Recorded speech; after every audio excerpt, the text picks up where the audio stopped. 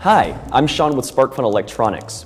We just got a hold of a Microsoft band which was released pretty recently, so we figured, let's do a teardown for you.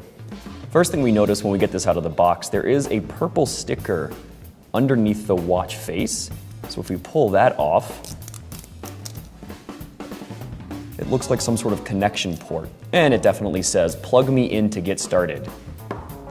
If we go back into the box, there's a cable. Check that out. It definitely looks like a proprietary connector. So don't be reaching for your currently existing USB connectors or your USB cables to connect to this watch. Looking at the watch, it looks like it has a lengthwise screen, so it sits across your wrist, so it doesn't take up a whole lot of room. There are a couple of sensors at top from what I could see, and two buttons on the side, and a sensor on the bottom that looks like it reads your pulse from your wrist.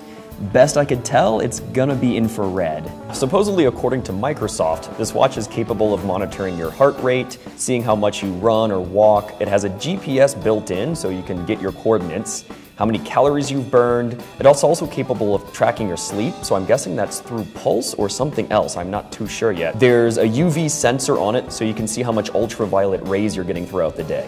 The watch is capable of notifying you when you have texts or calls or anything from your calendar, and this is all tied to your phone through Bluetooth 4.0. You can also get updates from Facebook or Twitter, other social media, take a look at the weather, and it's also got a built-in stopwatch, as any good watch really should.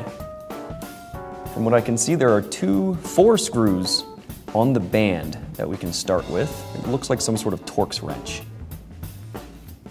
Getting the watch apart was a bit of an involved process. From what we can tell, the whole thing was molded in a type of plastic called elastomer, and the only parts that we could unscrew and take apart were the battery covers. After that, everything had to be sliced open with an X-Acto knife, hammered with a chisel, a little bit of Dremel action to get through some rivets, and pried apart with some pliers to finally get to the insides. Once we did that, we could tear apart the PCB and the LED screen so we could look at what's on the inside. The main CPU that we could identify is a Freescale Kinetis K24, which is a 32-bit ARM Cortex M4 processor. Next to it is some RAM. From what we could tell, this is 2 megabytes of static RAM. When we flip it over, we see a couple of other things here.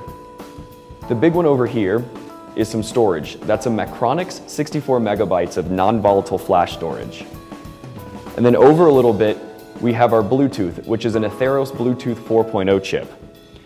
Back on this side, there is a GPS module. There's no identifying markings on it though. That was a fun teardown. It's always cool to see what's on the inside of these things.